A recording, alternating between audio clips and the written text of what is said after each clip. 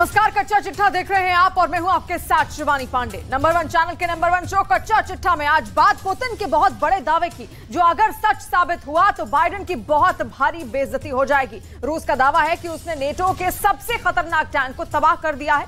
यकीन नहीं आता तो ये वीडियो देखिए, जो रूस के रक्षा मंत्री ने खुद जारी किया है।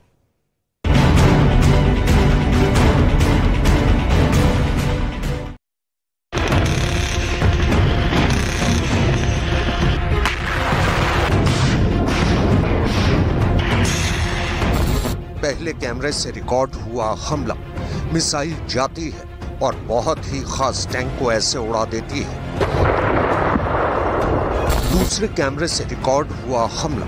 मिसाइल बढ़ती जाती है और टैंक को चारों खाने चित कर देती है। टैंक का ऐसा अंत देखकर जेलेंस्की बहुत परेशान है। एंटी टैंक मिसाइल से हुए हमले ने पुतिन के कैंप में जोश भर दिया है और इसका नेटो कैंप पर बहुत बुरा असर पड़ा है।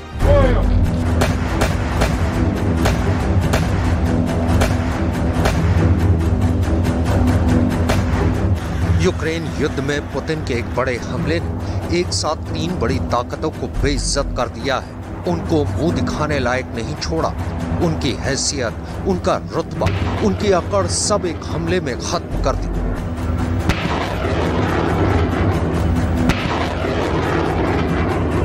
पुतिन ने जेलेंस्की को शर्मिंदा किया है। जेलेंस्की बहुत परेशान है। पुतिन ने बाइडेन की बहुत बुरी तरह बेइज्जती कर दी है। बाइडेन को अपने से ज़्यादा अमेरिका की किरकिरी सता रही है और नेटो को तो पुतिन का झटका बहुत खतरनाक है। ये पूरा गुट अब पुतिन के सामने घुटनों पर आ गया है। पुतिन की फौज ने ऐसा कहर मचाया है कि पोलैंड को उसकी हैसियत दिखा दी है। पुतिन ने जर्मनी को बता दिया है कि उसका जमाना खत्म हो गया है। पुतिन ने पूरे यूरोप को आईना दिखा दिया है। पुतिन ने जेलेंस्की को बता दिया है कि वो कुछ भी कर लें, उनकी हार तय है। यूक्रेन के युद्ध से इस वक्त की सबसे हैरान करने वाली रिपोर्ट ये है कि पुतिन ने जेलेंस्की के सबसे खतरनाक टैंक लेपर्ड को तबाह कर दिया है।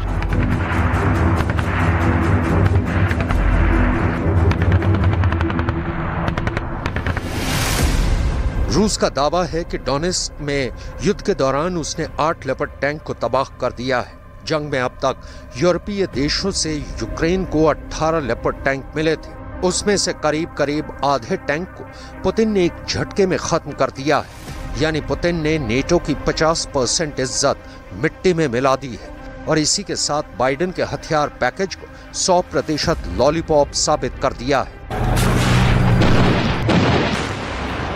ब्रिटेन के लेपर्ड और जर्मनी के चैलेंजर टैंक मिलने के बाद से ही जेलेंस्की के हौसले बुलंद थे। जेलेंस्की ने अब तक का सबसे बड़ा युद्ध टैंक छेड़ दिया और दावा किया कि रूस के करीब 3,850 टैंक को बर्बाद कर दिया। लेकिन इसकी पोल उनके दोस्त ने, बाइडन की देश की एक एजेंसी ने खोल दी और बताया कि असल में जेलेंस्की जितने टैंक मारने का दावा कर रहे हैं, उसके करीब आधे टैंक ही रूस के इस जंग में बर्बाद हुए। रिपोर्ट में बताया गया है कि रूस के सिर्फ़ 2000 टैंक ही तबाह हुए। जंग से पहले रूस के पास करीब 12000 टैंक। मान लिया जाए कि उसमें से 2000 टैंक बर्बाद भी हो गए, तब भी पुतिन की फौज के पास 10000 टैंक बचे हैं। और किसी भी देश के पास टैंक की ये बहुत बड़ी तादाद है। मतलब ये कि रूस एक बड़ी टैंक पावर अब भी है और उसके आगे जेलेंस्की को खैरात में मिले टैंक कहीं नहीं टिकते।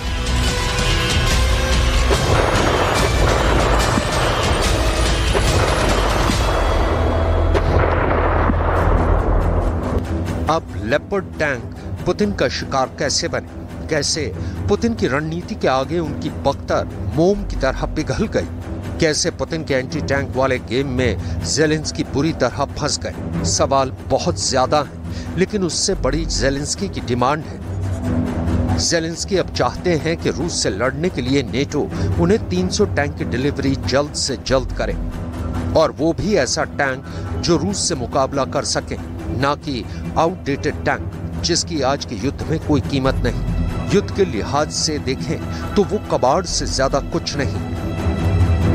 बकमूद के आसपास डोनेस्क में इस वक्त भीषण लड़ाई चल रही है। दोनों देशों के अपने अपने दावे हैं। यूक्रेन ने वीडियो जारी कर यह दिखाया कि कैसे उनके सैनिक रूस की बटालियन को ड्रोन से अटैक कर रही है। कैसे यूक्रेन के पलटवार से रूस की सेना में दहशत है। तो रूस ने जवाब में यह बताया कि उसके हमले में यूक्रेन को बहुत बड़ा नुकसान पहुँचा है।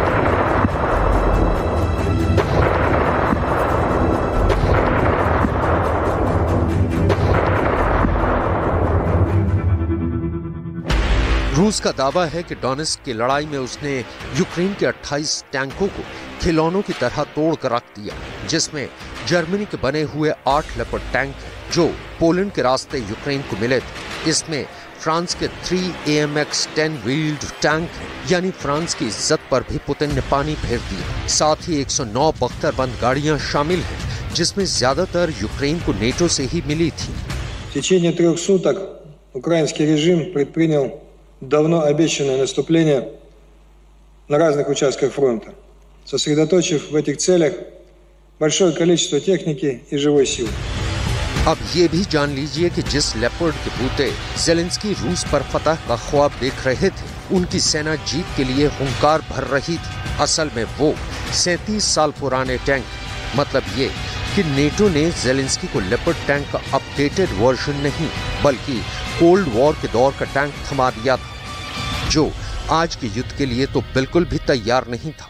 और एंटी टैंक मिसाइल के हमले झेल पाने के लिए तो ये कभी बना भी नहीं था। दरअसल नेटो से यूक्रेन को Leopard two A four tank मिला था, जिसका रूस के टी सेवेंटी टू और टी नाइन्टी जैसे खतरनाक टैंकों के सामने टिक पाना मुश्किल ही नहीं नामुमकिन माना जाता है। इस टैंक युद्ध में पुतिन के हाथ अगर बड़ी कामयाबी लगी तो इसमें बहुत अहम रोल रूस के टॉप कमांडर वलेरी गैरासिमोव का है। पुतिन ने युद्ध के बीच में ही वलेरी गैरासिमोव को चीफ ऑफ़ जनरल स्टाफ बनाया है। Valery Gerasimov armed corps officer और टैंक युद्ध के बहुत बड़े और खतरनाक खिलाड़ी माने जाते हैं। जनरल वेलेरी गैरासिमोव के आने के बाद अब रूस का फोकस टैंक वॉर पर है और साथ ही अटैक हेलीकॉप्टर के साथ फाइटर प्लेन की वो जुगलबंदी, जिसके सहारे टैंक रेजिमेंट यूक्रेन की ज़मीन को चीरते हुए आगे बढ़ रही है। अब जेलेंस्की कुछ भी दावे करे, कुछ भी प्रोपागेंडा फैलाए, लेकिन हकीकत यही है कि जिन नेटो देशों के हथियारों पर उन्हें इतना गोमान था, पुतिन उन्हें चुन चुन कर निशाना बना रहे हैं। साथ ही पुतिन, बाइडेन को भी आईना दिखा रहे हैं कि वो भले ही लाखों करोड़ों रुपए का पैकेज यूक्रेन को भेजे, भले ही कितने ही एडवांस हथियार यूक्रेन के सैनिकों को मुहैया कराएँ। असल में वो पुतिन की सेना के आगे टिक नहीं पाएँगे। लेकिन जिस तरह से पुतिन की सेना नेटो से मिले टैंकों को बर्बाद कर रही है, उससे ये बात तो साफ़ है कि असल में नेटो ने यूक्रेन को हथियार देने के नाम पर सिर्फ़ खाना पूर्ति ही की है। इसकी तस्दीक क्रोएशिया के प्रेसिडेंट के एक बयान से भी होती है। क्रोएशिया जो खुद नेटो का सदस्य है वहां के राष्ट्रपति ने कहा था कि टैंक चाहे अमेरिका के हों या फिर जर्मनी या ब्रिटेन के यूक्रेन के युद्ध में उनका हश्र बहुत बुरा होगा Te njemačke tenkove ćemo tamo poslat, s obzirom da ovih sovjetskih kojih je bilo više od tisuću, više nema. Uništeni su. Ista sudbina čeka i ove tenkove, da se ne lažemo. Ruski gore, američki gore, njemački gore. Američki gore u Siriji, u Iraku, Irak je kupio 300 Abramsa, 100 ih je izgorilo. To je to. Nije to nikakvo super sofisticirano oružje. U pravim okolnostima, pod pravim kutem, to gori. अपनी बात को पुख्ता करने के लिए Croatia के president ने कुछ आंकड़े भी दुनिया के सामने रखे नेटो के सदस्य देश क्रोएशिया के मुताबिक अमेरिका के एब्रम्स टैंक सीरिया और इराक के युद्ध में बुरी तरह जले इराक में अमेरिका के 300 एब्रम टैंक्स आए तो इनमें से 100 एब्रम्स हमले के दौरान जल गए क्रोएशिया के राष्ट्रपति ने तो ये भी दावा किया कि ये टैंक कोई ब्रह्मास्त्र नहीं है। सही हालात और सही दिशा से वार करने पर इन टैंकों को तबाह करना बेहद आसान है। यूक्रेन के युद्ध ने दुनिया के लिए बहुत बुरे हालात पैदा कर दिए हैं। अमेरिका और रूस के बीच ऐसा टकराव शीत युद्ध के बाद पहली बार देखा गया है। रूस के हमले ऐसे हैं कि युद्ध यूक्रेन के आगे नेटो की सीमा में कब दाखिल हो जाएगा। कोई नहीं जानता। वहीं बाइडेन ने फिनलैंड को नेटो में शामिल करके वर्ल्ड वॉर की चिंगारी में पेट्रोल डालने का काम किया है। ये बात रूस की तरफ़ से बार बार कही जा रही है। पुतिन इस वक्त बहुत ज़्यादा आक्रामक है, जबकि बाइडेन बहुत ज़्यादा कंफ्यूज्ड है और यूक्रेन पर उनकी नीति पुतिन को और ज़्यादा गुस्सा दिला रही है। और जिस तरह से पुतिन एक के बाद एक यूक्रेन के हथियारों को निशाना बना रहे हैं, उससे ये तो साफ़ है कि जेलेंस्की जुबानी जंग में भले ही पुतिन को पीछे छोड़ दें, लेकिन ज़मीन पर उनके लिए रूस को हरा पाना बहुत ही मुश्किल है।